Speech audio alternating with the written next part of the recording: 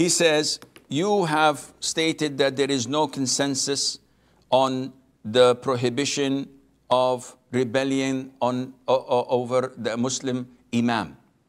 This question has been frequently asked, and people keep on bombarding uh, my email account, my website with it, saying that you said this and Sheikh so and so said this.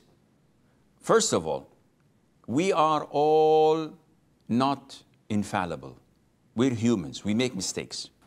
Even the great sheikhs make mistakes.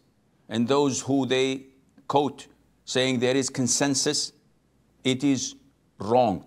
It is not true. If you do your research, you will find great, great scholars of Islam stating what had happened. Is it sinful or not? Of course, it is sinful when it's uncalled for.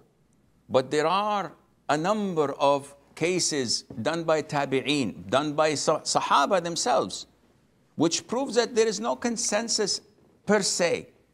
But these late scholars nowadays, they brush it off and say that there is consensus. Imam Ahmad said, may Allah have mercy on his soul, whoever claims the consensus of Muslims is a liar.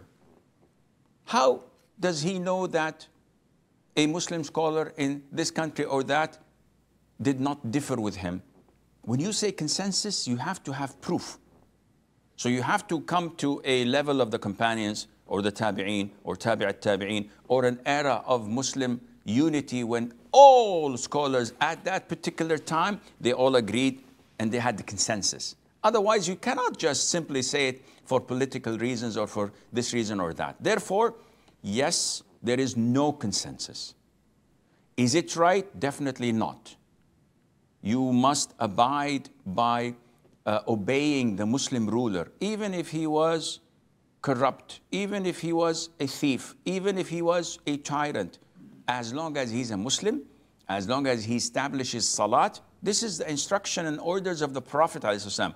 You and I cannot go against it. So we have to abide and obey. But this doesn't mean that we have to cross the line and claim consensus over something that there is no consensus over it, and Allah knows best.